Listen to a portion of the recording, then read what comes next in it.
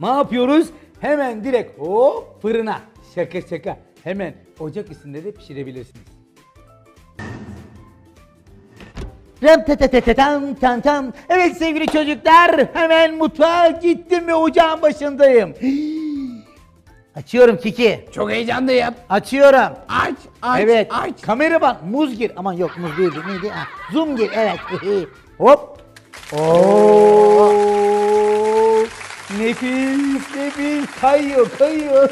Ramazan Usta hemen bana ver yemek istiyorum. Tabii canım hemen sana ikram edeceğim. Evet. İlk sana ikram edeceğim. Tamam. Yani yönetmenimiz orada dururken ilk ben sana ikram edeceğim. Ama çok acıktım.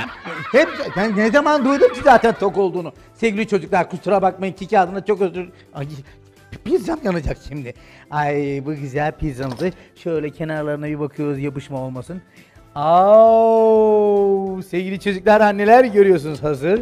Şöyleciğim ortadan şöyleciğim kesiyoruz.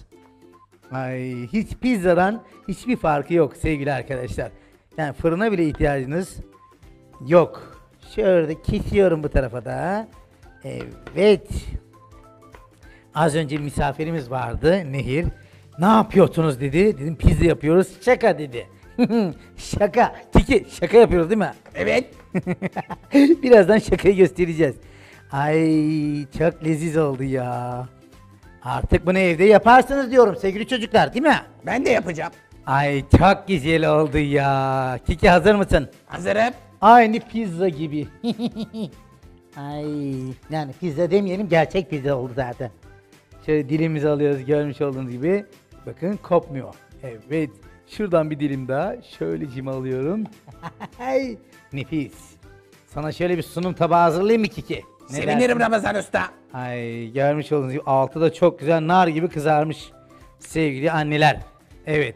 Şimdi diyeceksiniz ki altı nasıl pişmiş diyorsunuz. Altını gördüğünüz gibi evet şuradan göstermek istiyorum. Evet nefis.